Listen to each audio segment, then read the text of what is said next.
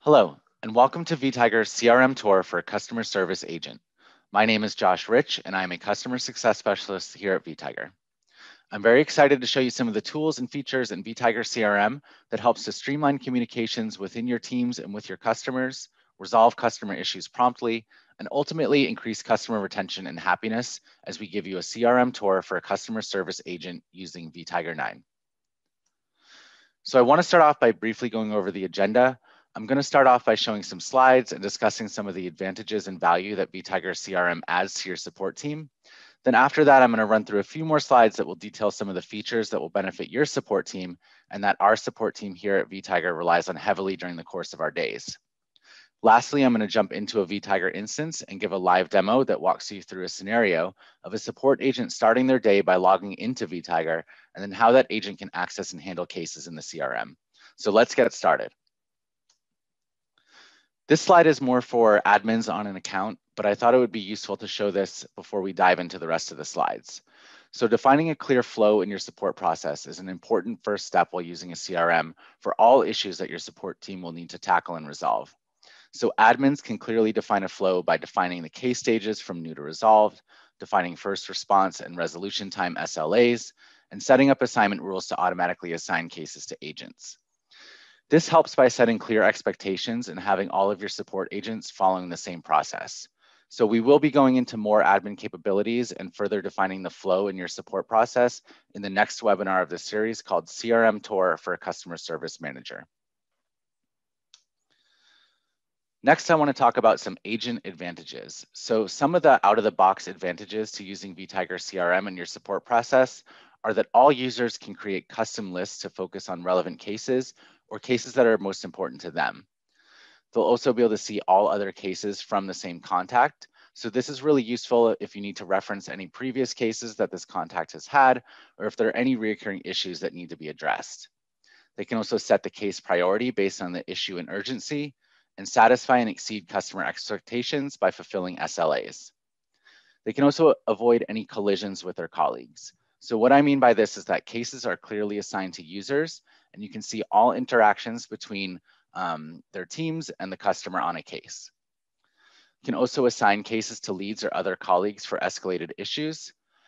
And you can collaborate with others to resolve issues faster by using the at mentions feature. They can also see customer ratings of handled chats and cases, which is really useful to get real-time feedback on the customer's or contact's um, perception of how they feel the representative handled that issue or question. So by enabling your team with the tools they need and setting them up for success, you'll immediately see the value in using our CRM to help manage your, your support team while assisting them to provide excellent customer service. So let's discuss the real value on this next slide. So by implementing a clear support process and discovering some of the advantages your agents will have while using vTiger, you'll immediately recognize the following benefits and ultimate value listed on this slide. So it will allow your customers to get the most out of your product or service, which ultimately um, increases customer loyalty, increases customer satisfaction, and helps to build brand value with happy customers. So at the end of the day, all this will contribute to reducing customer churn. I also want to point out some interesting stats published by Forbes. So according to Forbes, 96% of customers say customer service is important in their choice of loyalty to a brand. Loyal customers are also five times more likely to purchase again and four times more likely to refer a friend.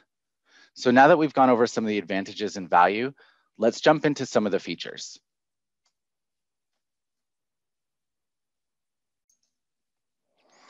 So I wanted to start with the actions page because the actions page acts as your personal assistant to help you stay on top of your work. You'll be able to track and receive updates about your activities as well as your teams view any at mentions to collaborate with your colleagues, track how customers engage with your emails, and set up custom rules to receive alerts about anything that concerns you or anything that's relevant to you. Here is a screenshot of the actions page. So right now we are viewing the at mentions section, so you can see some collaboration um, between these users here.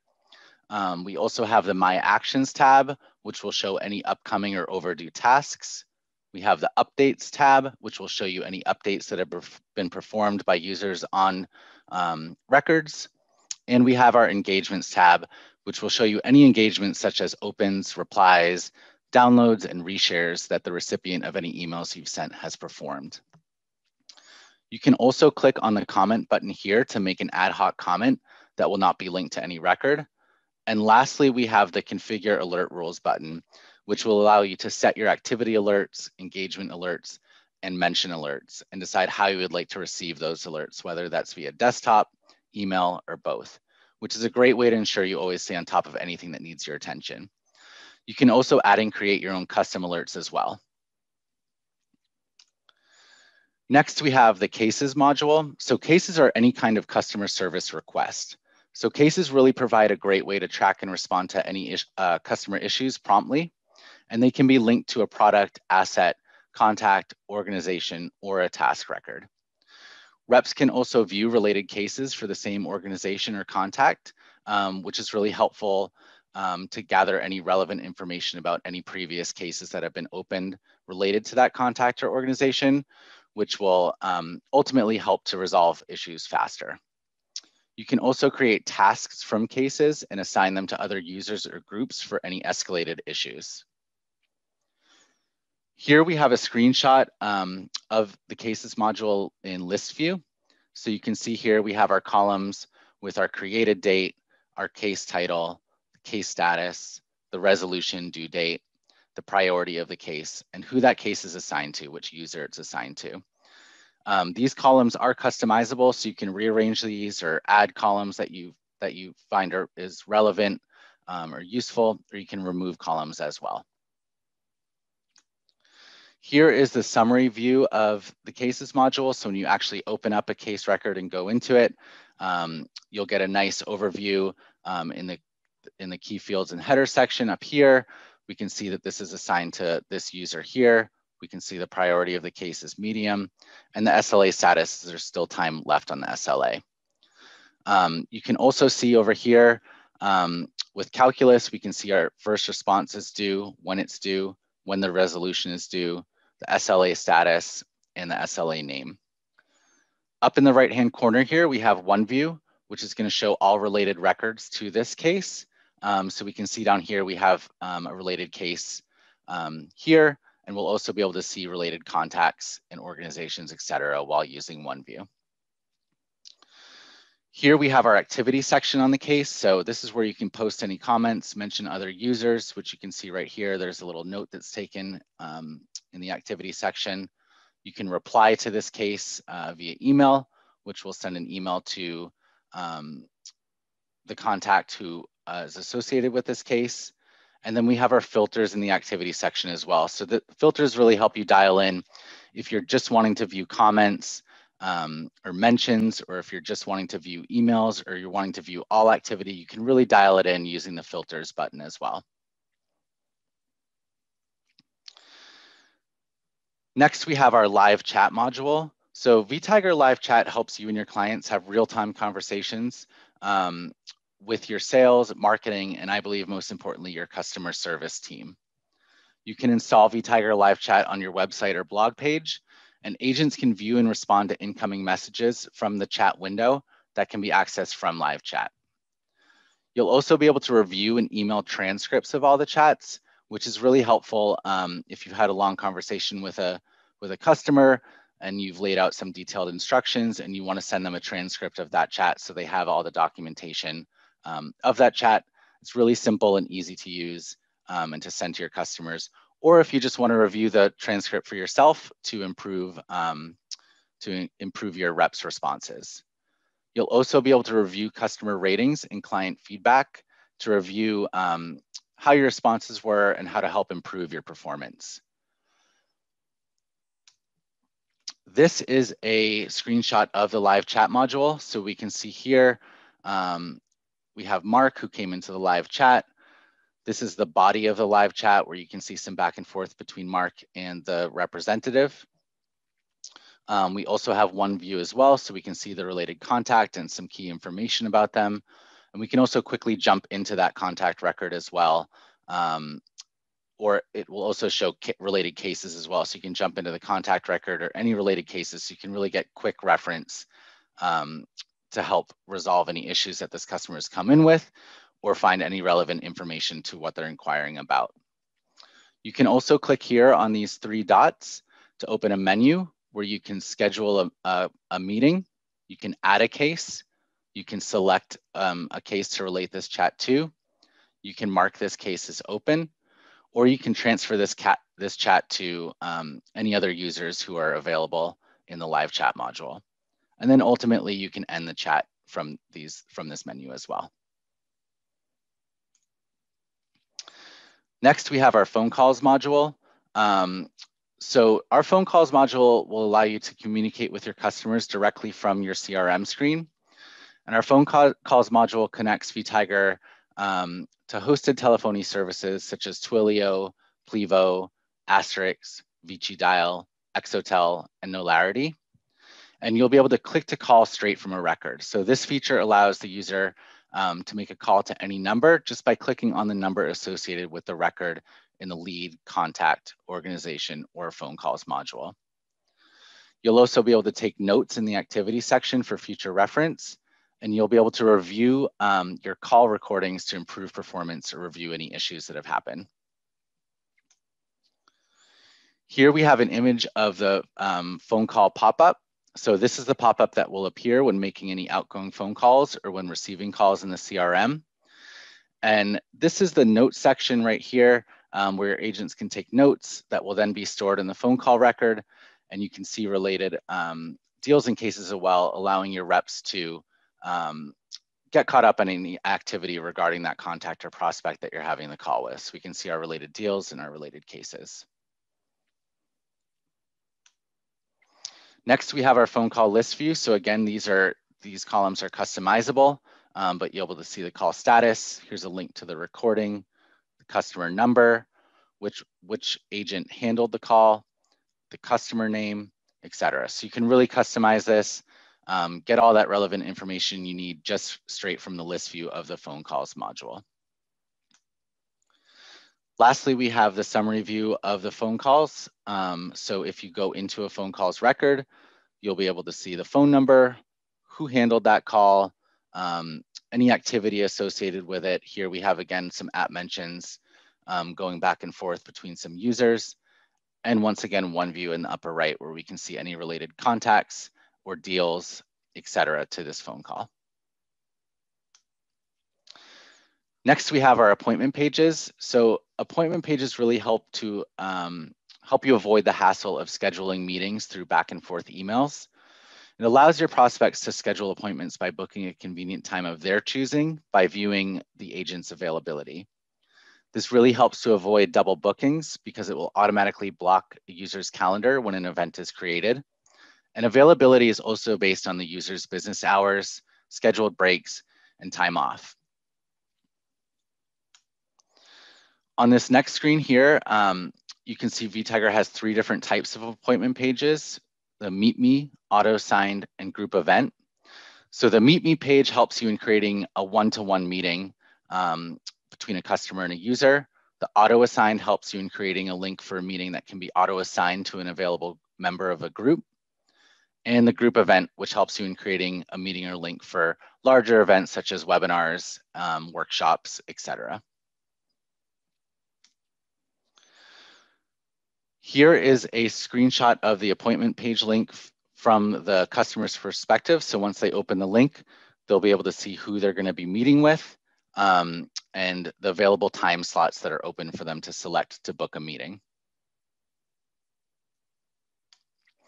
Next, after the meeting has been created, um, we have our events module. So this is the list view of the events module. So it's a really quick way um, for your agents to view any meetings that are up and coming, um, it'll, it'll specify the start date and end time, um, also the status of the event, who's handling the meeting, um, and the subject of the meeting as well. So again, a really great way to just make sure that you're staying on top of things, you're not gonna miss any meetings, um, and that you have clearly defined what's laid out for you um, regarding meetings for the, the week, month, et cetera. So next I wanna talk about the FAQs module. So FAQs or frequently asked questions are commonly asked questions about a process or a business. FAQs are written in pairs of questions and answers, and you can easily create FAQs out of the questions your customers ask if you think it might be useful to other customers um, or to your team. FAQs can be published on a customer portal or a website to give all of your customers and support teams easy access. Next is the articles module. So while FAQs and vTiger answer your customers' queries more quickly, articles will provide long form help content.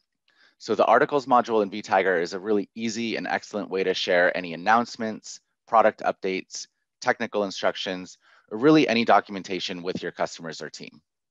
You can aid your customers with in-depth knowledge about anything regarding your business and its workings. Here is vTiger's mobile app, which is available for Android and Apple, and it allows your agents to stay in the loop and complete tasks on the go. So agents can respond to or update cases, collaborate with colleagues using at mentions, and receive notifications on anything that needs to be addressed from anywhere at any time. So the last slide I have before I start the demo is on vTiger's AI engine called Calculus.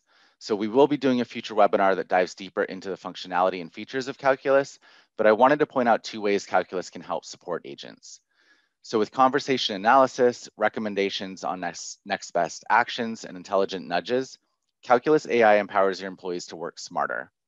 The two features I want to briefly discuss are Calculus's email reply assistant and best time to contact. So the email reply assistant, it's a real game changer as it helps support team members be on top of their customer conversations with suggestions on content to send when replying to emails. So for example, for example, Calculus could recommend a help document or other relevant content that pertains to the customer's email. The best time to contact is another uh, feature of Calculus that analyzes historical data and correlates data points from a myriad of sources to recommend the best time to contact someone.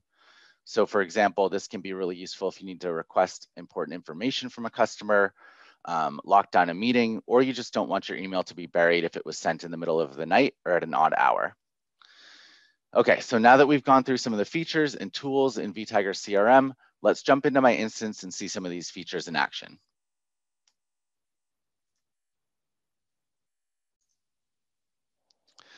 So we are now inside of my vTiger v9 test instance, and I'm going to run us through a scenario that a support representative um, might typically face on a daily basis. Um, so from when they first log into the CRM to addressing a case and then ultimately escalating that case and resolving the case as well. Um, so to start with, by default, when your representatives log in, they're going to land on the dashboard page. And now this dashboard is um, personalized for every representative. So each representative can customize this dashboard as well. Um, and they can add widgets such as um, a standard widget, which is gonna be a default widget um, that vTiger has, or any sort of lists or charts or a sticky note as well you can add in there um, just by clicking on the add widget button up here. So to start with, I'm gonna look at um, the first widget I have, which is my open cases. So these are gonna be any cases that are assigned to me. Um, it's gonna give me the title of the case, the status, priority. It's also gonna give me links to the contact record, the organization record, and it's gonna show me when um, the resolution due date is due as well. Um, so this is a great way if I just wanna quickly jump into a contact record um, regarding this case, I can jump in here, um, or if I wanna jump into the case itself. Next, um, we have all outstanding cases. So these are gonna be any cases that are assigned to um, not only myself, but other members of my team as well. So it's a good way to just get um, some insight into what's going on um, with the other colleagues in your support team. I also have a, a list of my contacts. So these are gonna be contacts that are assigned to me. Um, and another great way to just jump right into the record, or I can click right here to send them an email or click on their phone number to click to call straight from the CRM. So moving down, um, some other widgets I have are my meetings this week and my meetings this month. So this will give me a nice um, preview of anything that's up and coming so I can make sure I'm on top of any meetings that I need to be a part of. Um, so I can see today I have a meeting at 11 a.m. and then a meeting tomorrow and then also on the second here as well. Um, this will give me my meetings this month. So this will only be meetings um, for the month of March.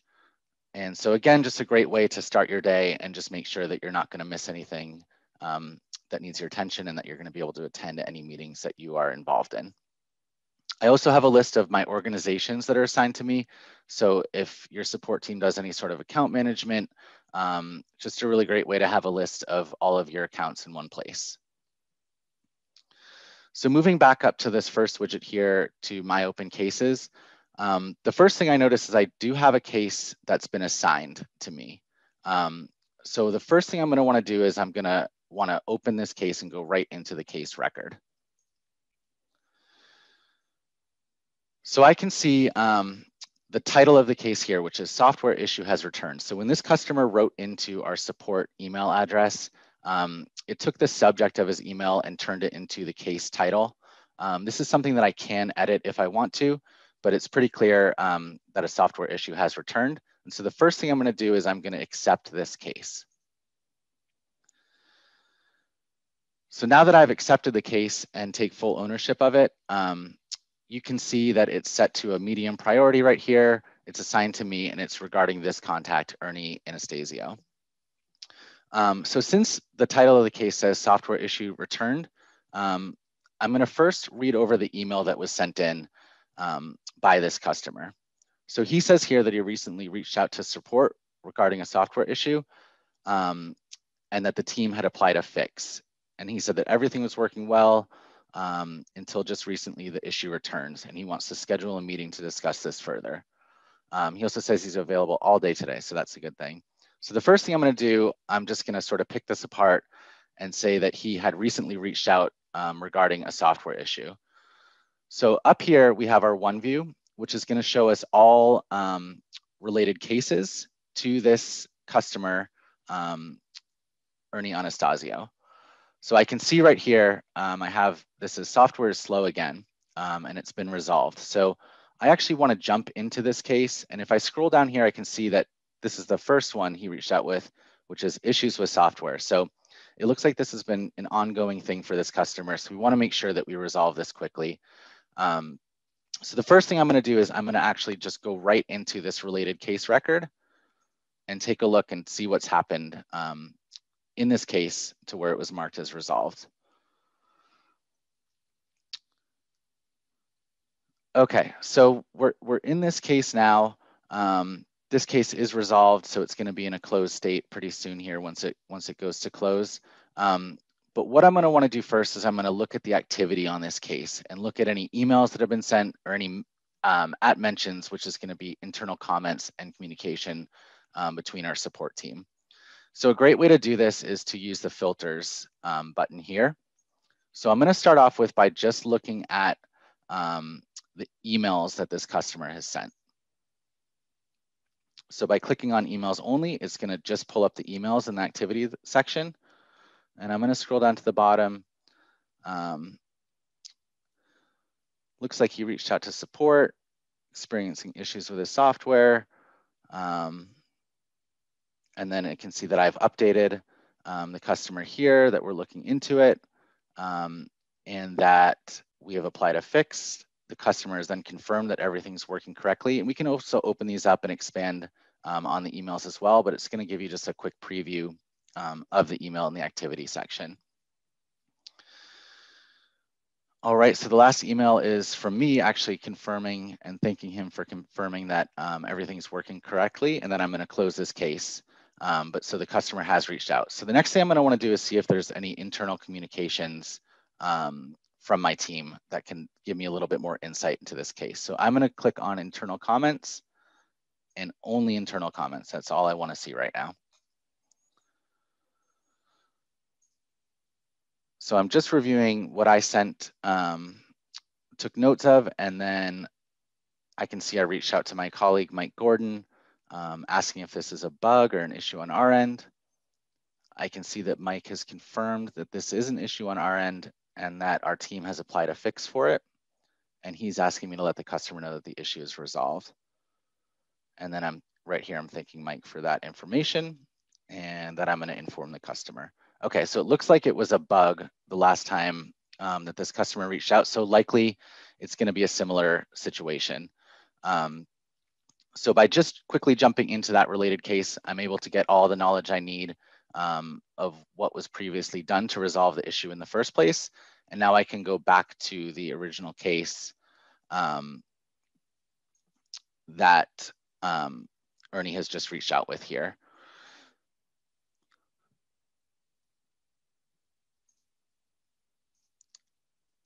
So in Ernie's email here, um, I can see that he wants to schedule a meeting to discuss this further and that he's available all day today. So what I'm gonna do straight from the case record here is I'm gonna create an event and send it to Ernie.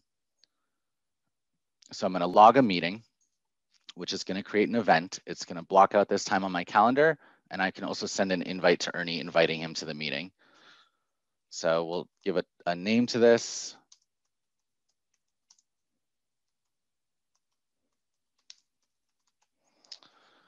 Um, Ernie's available all day, so we're gonna get this started as soon as we can. So we have the start time and the end time, should only take about a half an hour. Um, the activity type is gonna be a meeting, uh, but we have several different options here as well. So I'll click on meeting. Um, and then in the agenda, I am going to um, paste in a Zoom link here so that Ernie can quickly join. And then I'm also going to um, just click on save on the bottom here, which is gonna prompt me to send um, an invite to all the invitees. So you can see that Ernie Anastasio has already been pulled in as an invitee since we created this event from the case record um, related to Ernie Anastasio. So we'll click send. And now this event has been created. Um, so once you know Ernie joins the meeting, and we'll assume that we've held this meeting now, um, we can go back to, we can go to, into the events module here and click on the event that I just created and we'll mark it as held. So now we can say that the meeting has been held.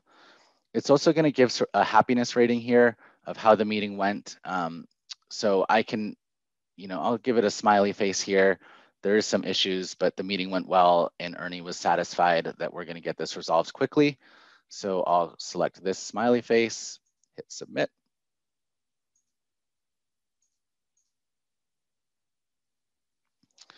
And you can see the smiley faces up here, um, which just you know denotes that this this the meeting went well and that the customer is happy at this point.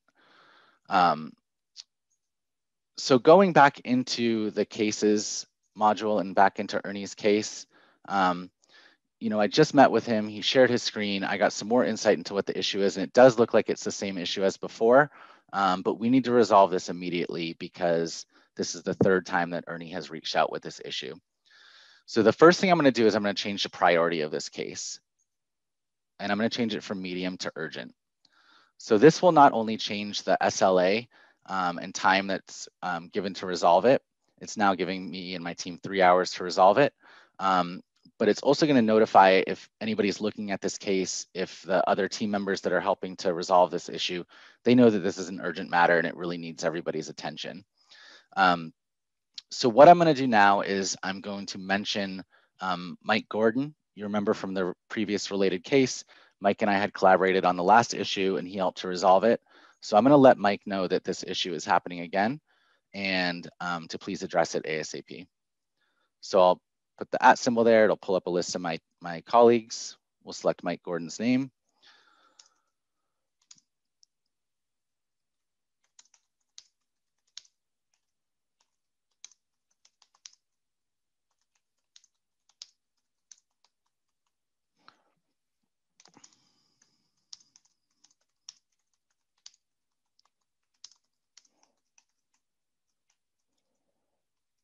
Okay, so I'm gonna make this comment and once I hit click on the comment button here, Mike is gonna receive a notification in the CRM himself and he's also gonna receive an email. So um, there's gonna be two different ways that Mike receives this notification saying that um, there's an issue, which is also gonna provide a link directly to this case as well. So I'll uh, click on the comment button here and the comment was posted successfully. Um, these comments are internal, so just um, myself and my team will be able to see these and any admins, of course. Um, but so I'm, I feel comfortable. I know that I've notified Mike. I've also escalated this case to urgent. Um, if I need to, if I feel like this needs an extra uh, task generated with it, I can also click up here on the three dots um, and schedule a task. Um, and I'm gonna give this a name of fix bug for Ernie. And I'm going to assign it to Mike Gordon because he's in charge of fixing all the bugs for our team. And I'm also going to give a due date of today. And I'm going to say 2 p.m. Oh, missing a zero here. 2 p.m. Um, the stage is going to be pending. So once Mike picks up this task and starts to work on it, he can change it to in progress. And once he completes it, he can mark it as completed and let me know as well. And I'm also going to mark this as high as well um, and mark the task type down here as repair. Um, in the description field, I can also type in something if I want to describe exactly what's going on. Um, for the case, for the sake of time here, I'll skip I'll skip typing in a description. Um, but Mike's going to know from my previous comment over here that this issue, um, the software issue has happened again and it needs to be addressed. So I can hit save right here. Oh, I need to also do the stage. So um, we'll say we're collecting info. Okay, so now this task has been created um, for Mike to work on this issue. Once Mike, um, so since Mike is working on this issue, I'm gonna change the status of this case right here to wait for third party. So I'm waiting for Mike to come back and let me know that the issue has been fixed. Um, and we'll go ahead and just assume that Mike has now reached back out to me. He's made a comment um, on the task that I created and also on this record on this case record saying that the issue has been fixed and to please update Ernie. So what I'm gonna do now is I'm gonna write um, an email back to Ernie saying that the issue has been resolved and then I'm gonna close this case. So by clicking on the reply button within the case, it's gonna pull in um, our contact's email address. It's also gonna pull in the subject from the case title and I'm going to send this email off to Ernie. And so any anytime that e uh, Ernie responds to this email, everything's going to be held within this case record as well. Um, so it's all going to say right here, and it's also going to be related to this contact's name as uh, contact record as well. So I'll just say, hi, Ernie. Um, the issue you were facing